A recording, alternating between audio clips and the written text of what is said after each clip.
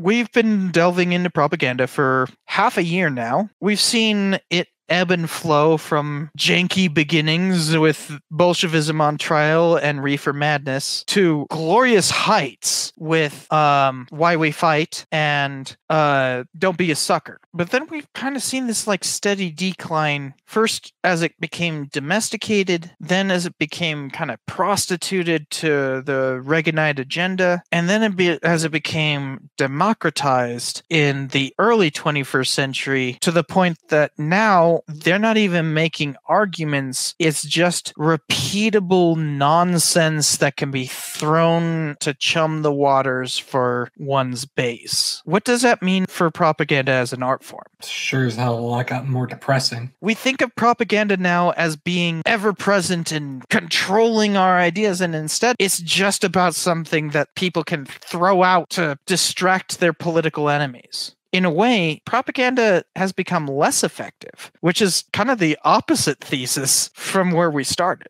It's about like exhausting the opponent more than winning them over. You're exhausting them from wanting to fight back rather than convincing them to join you. After all, all it takes for evil to win is for the good guys to do nothing. Exhaustion is just a numbers game. That's all it is. And propaganda has become a war of attrition. You remember those half-assed attempts at a left-wing version of PragerU? Or yeah. Gravel Institute. Very clear left-wing propaganda, and it just failed. So there's also another weird thing with this 21st century change. It was the left that pioneered this new framework for propaganda. Isn't that kind of the old trope though? The left or the progressives or whatever, they're they're moving forward and doing new things to spread the message. And then the conservatives are like, no, we don't want to participate in this new drivel. We want the more traditional ways. And then when they start losing, they go, fuck, we have to actually move forward. That's why they took over radio and then they took over TV decades after more liberal to left wing activists would use those things. And that the internet is just the next thing. Yeah. Because the people who so want conservatives to be- are always playing catch up, which makes sense. I mean, that's kind of inherent to conservatism. Their ability to propagate has significantly changed. Like with the Birchers, 1966, when they put out Anarchy USA, that was laughably dumb. And mind you, what we just watched with Tucker, laughably dumb still, too. But somehow it resonates compared to what the Birchers were doing after 1964. I really don't know what else to say. The standards have lowered. Uh, after 15 episodes. How can you sum up a change that happened over 40 years? But we watched the change happen. Throughout this entire series, we have chosen things to watch that are representative samples of their times. And by doing so, anytime you hear people saying, like, oh, you don't know what it was like back then, we've chosen to put ourselves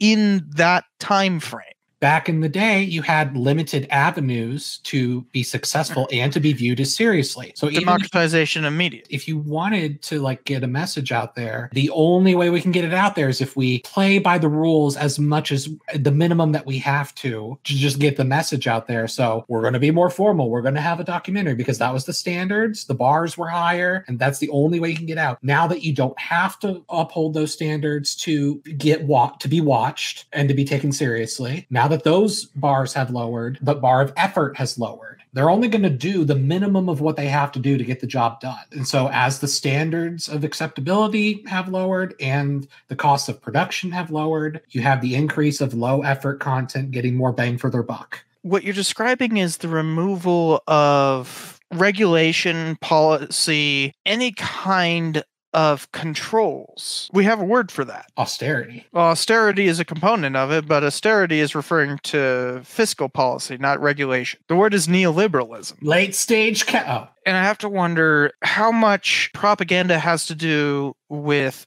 our ever changing climate of culture war nonsense versus the other way around? How much of it is driven by propaganda? Well, it feeds upon itself. It's kind of a chicken and egg problem, but well, I, I, think it, I think it originally started from top down. I think of something as simple as the drug wars. All you need to do is have the government say, you know, we decided that these drugs are bad. We're going to have Dare and all these other programs to say drugs is bad, and then it doesn't take long to have your moms against drugs groups, and then it doesn't have long for your local communities to be doing things, and then now you've got once it gets down to that level, it's starts feeding upon itself. You know, mm. so I, I'm I'm sure originally this start this all started off with top down culture war stuff, but then the crazies on the ground got more passionate than the government wanted, and now Pandora's box is opened. I know there's the idea of the slippery slope fallacy, but I feel like this is like a different sort of thing where it's not necessarily a slippery slope. There is something to be said about unleashing dangerous powers that are hard to control. How much is propaganda organized around niche? And is that what's driving this removal from trying to make any kind of argumentation. Most people have transitioned from the expectation of you will dedicate yourself to the one thing and be known for the one thing, maybe two, and that's your life, to the more of the expectation of being a more well rounded individual. Now it's more about having different arsenals on your tool belt than having a tool. You went from a niche tool set that allowed you to pick apart somebody else's argument to just bombarding your enemy with as many bullets as possible. Tactical exhaustion, yep, attrition. I feel weird being sad about the state of propaganda. After half a year of studying propaganda, this is where we are. This isn't nostalgia. It's more, oh God, why did it have to get worse? We had like legitimately great propaganda in the 1940s. It's not that you're fond of the problems, it's that you're more fond of the problems being easier to deal with. It wasn't just bombarding people with arguments, it was about changing people's minds. You know, I remember when criminals had a code. They had honor, respect. What do you believe in, huh? What do you believe?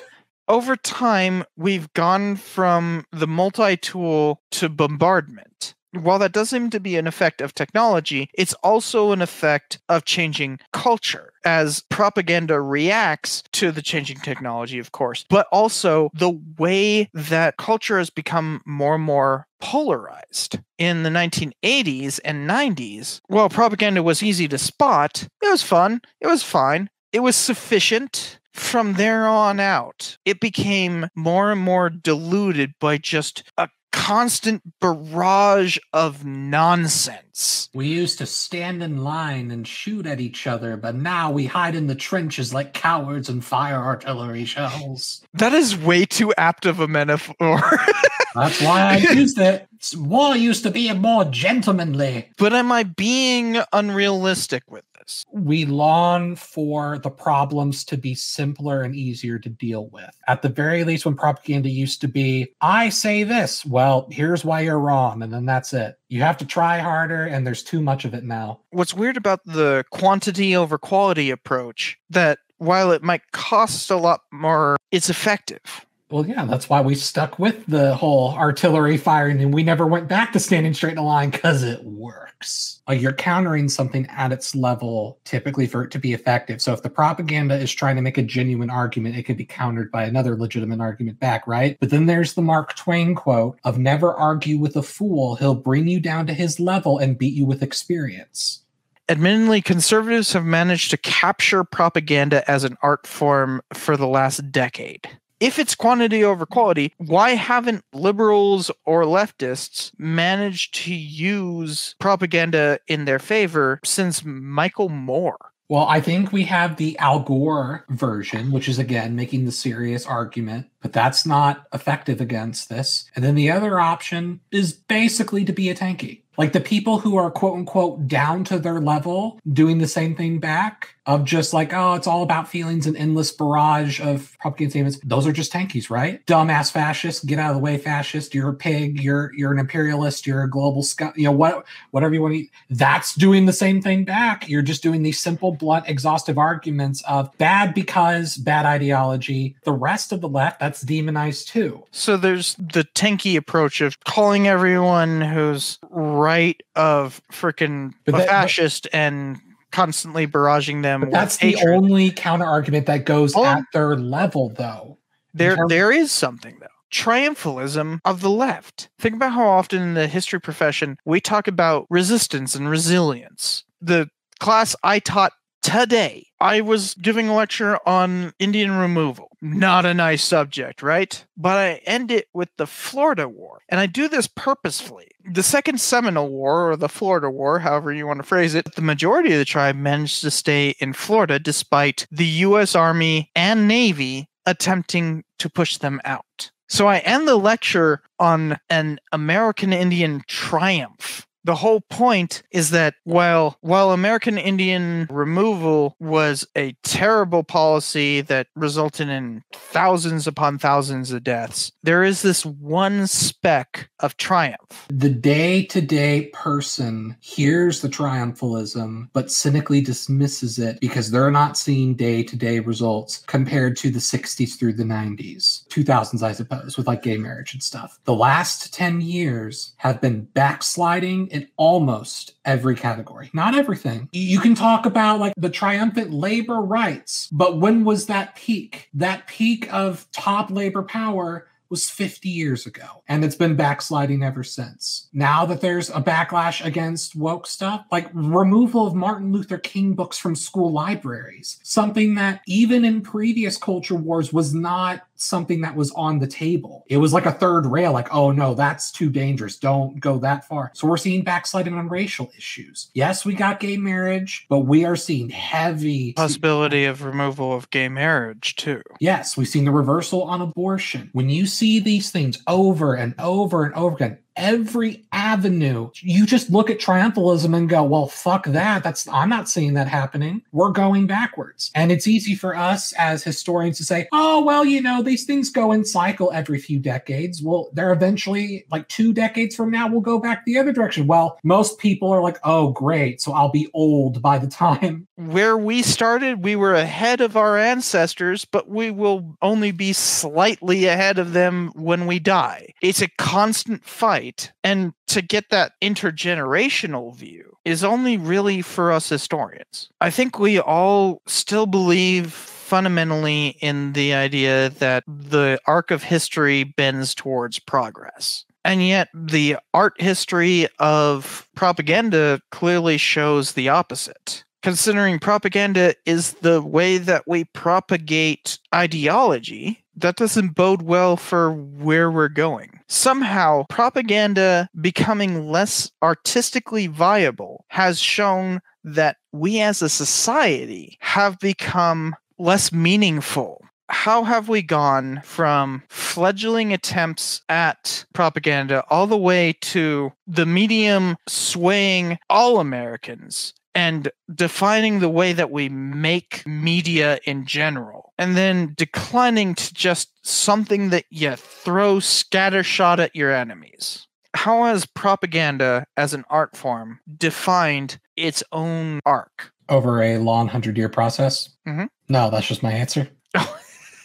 we don't really have an answer for why this arc happened, but there is a clear arc it began with this like fledgling steps and then as like foreign influence changed cinematography we kind of perfected it. We took what nazis and communists were doing and combined it into capitalist propaganda and it was effective and we domesticated it which it worked all the way through reagan the reagan ruined everything i was actually saying he didn't i know but i can't help myself the cartoon all all Stars one, it still worked. It made the argument that it needed to make. But since then, we haven't seen anything worthwhile. It's been literally downhill since Michael Moore started making propaganda and everybody started copying him. You know, cinema peaked in the 90s, but then they got complacent and it was all about just getting the money and churning out the product. There was no quality that went into it. And now it's just endless rehashes over and over again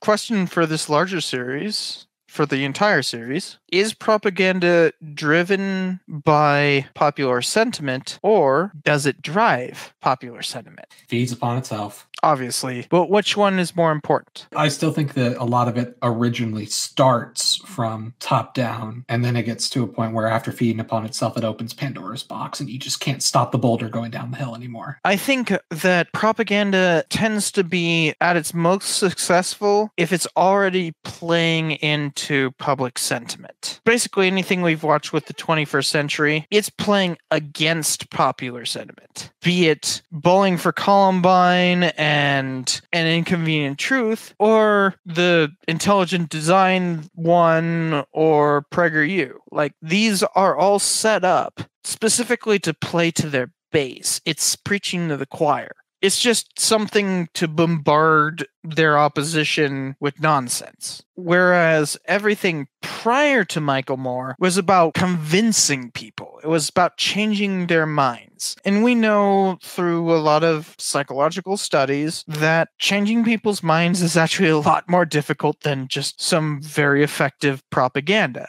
But that doesn't mean you have to relinquish the quality of your propaganda, you know? But nevertheless, it's happened. There's Yeah, no turning back. They told the world how they felt with the sound of the propaganda at Uh, it doesn't work. We Are, We It's- Are, Prager University. We are, we are. God. I would not be surprised if POD frickin' actually was like, Little Susie, she was only 12 and she had every chance to excel. But then things grew bad ever since her daddy left her. But then she chose to become a he, and it made me go, so we've seen a rise in effectiveness when we've seen a loss in quality. Will it continue that way well, or I, will it change? I don't think it's going to change unless it has to. The difference is that we've gone from what's like convincing people over to exhausting the opposition.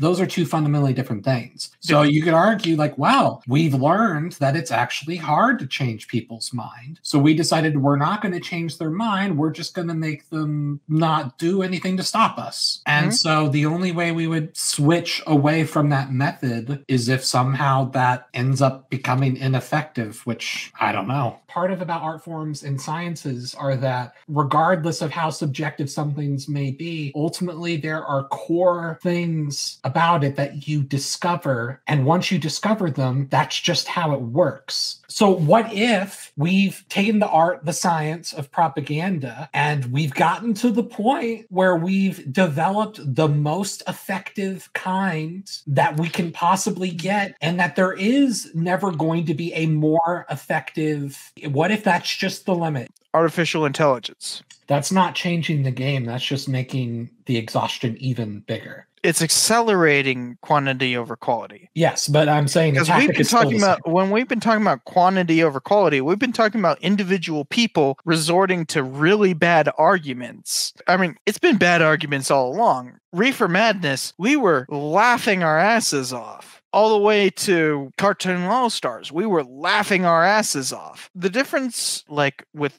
PragerU, for instance, you can just bombard people with arguments so quickly that you just can't counteract it. It takes 50 minutes in order to counteract five minutes of disinformation.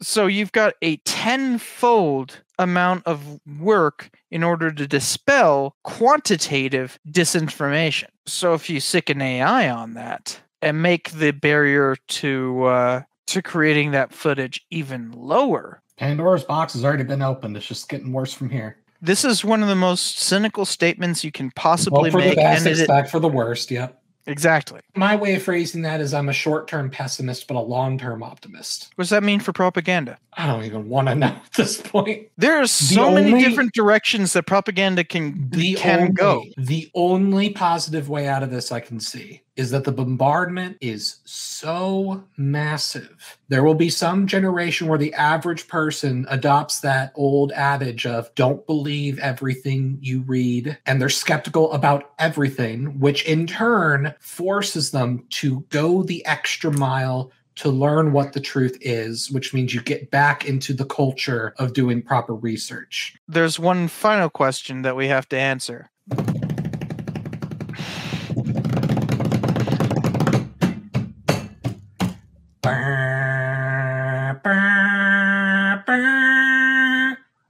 What is propaganda?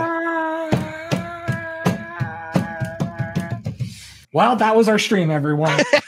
We've talked about where it's been, where it's going, where it is as an art form. But what is it? Merriam Webster's dictionary has three senses. I'm guessing it's not going to be the first one because uh, it says a congregation of Roman curia having jurisdiction over missionary territories and related institutions. to propagate, yeah. Uh, that's not what we're talking about when we say propaganda, but the second sense seems useful. The spreading of ideas, information, or rumor for the purpose of helping or injuring an institution, a cause, or a person. I don't really agree with the last part of that, the of a person, because the whole idea of propaganda is all about institutions. You can have propaganda against people. It has to be public figures. I mean, I don't know. I mean, you could demonize uh, an individual person with gossip propaganda, rumor, right? All you have to do is talk to the old ladies at the but a rumor home. in and of itself is not propaganda. It has to be in spreading of it. service of an institution. An institution can support a cause. The whole point of propaganda is that it should be in service of an institution. And finally, the third sense says ideas, facts, or allegations spread deliberately to further one's cause or to damage an opposing cause. So this is that information I dislike. In the definition says facts. So if facts are propaganda, I I don't know. You could like cherry pick facts to tilt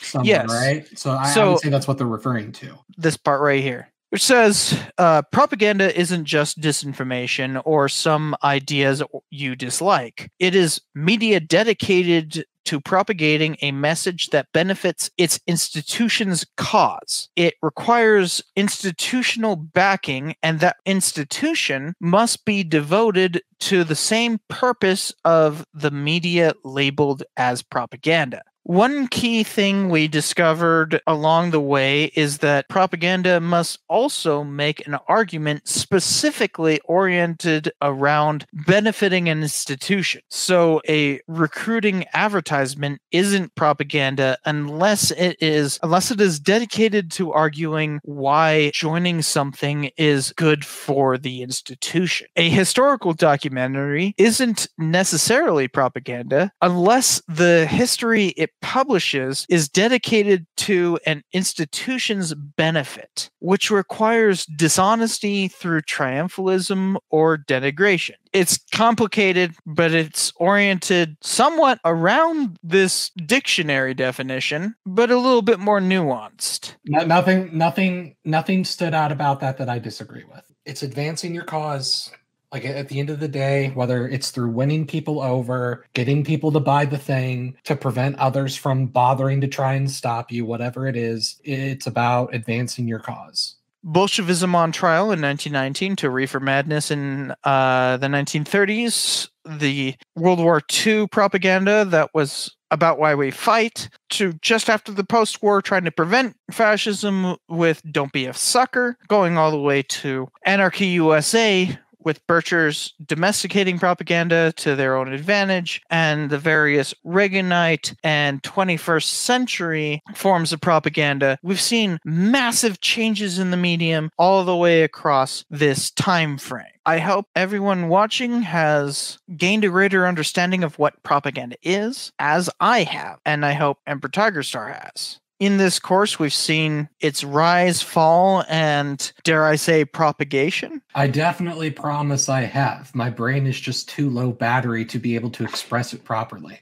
We've seen from its fledgling beginnings trying its best to do something to the height of its artistic prowess to a domestication of that art form for use against political enemies to something that you could use literally against children in order to propagate your message all the way to the democratization of media and the profligate version of propaganda that resulted from that with all the 21st century versions that we've seen. Ultimately, to a more quantity over quality expression of that art form. It's been a wild ride. I hope everybody has uh, gained something from the experience. Remember, no matter what you may hear, no matter what people tell you, the truth is propaganda is a noun, and there's nothing you can do to change that. That will always be true as long as English is spoken. While it's been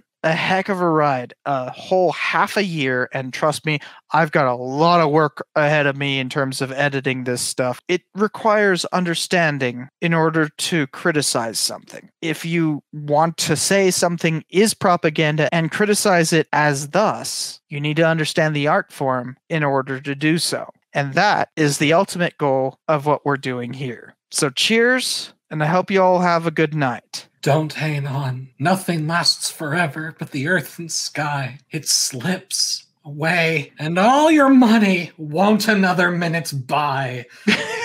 dust in the wind. All we are Dust is dust in the wind. wind.